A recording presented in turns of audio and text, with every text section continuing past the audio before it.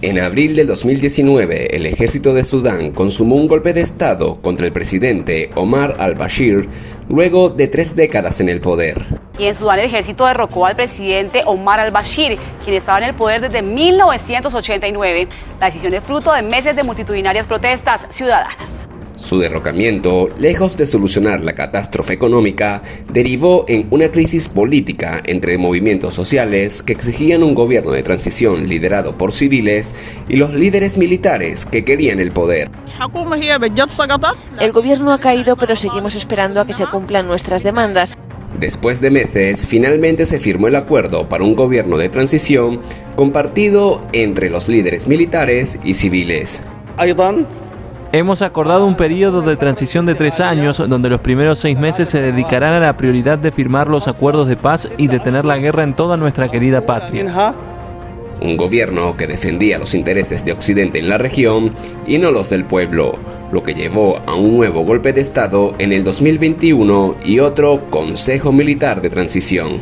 Golpe de Estado en Sudán, un grupo de militares arrestó al primer ministro, Abdallah Hamdok, y a la mayoría de los miembros del gabinete. Y de manera inmediata, Estados Unidos paralizó su ayuda al país africano. Estados Unidos ha paralizado una ayuda de 700 millones de dólares para Sudán. Durante el 2022, los líderes militares y civiles negociaban acuerdos para una segunda transición. Sin embargo, en enero de 2023, una chispa de malestar social empezó a notarse en las calles al ver pocos avances. La firma de un pacto se veía afectada por las tensiones entre el ejército sudanés y las fuerzas de apoyo rápido.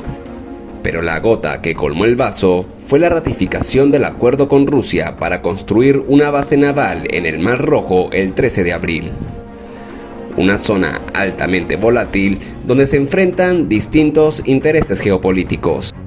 Está muy cerca y muy cerca del, del Mar Rojo donde hoy se está este, eh, juntando la, la tensión este, regional, ¿no es cierto? Porque allí hay bases eh, chinas, norteamericanas, francesas, rusas, británicas, eh, de Arabia Saudita, de, de los Emiratos Árabes dando inicio a un nuevo intento golpe de Estado donde existen tres principales protagonistas. El ejército sudanés, liderados por Abdel Fattah al-Burhan, el presidente del Consejo Soberano, el grupo militar llamado Fuerzas de Apoyo Rápido, liderados por Mohamed Hamdan Dagalo, quien ocupaba el cargo de vicepresidente del Consejo Soberano, y las organizaciones civiles cuyo principal reclamo es que se terminen de celebrar las elecciones dos antiguos aliados enfrentados por el poder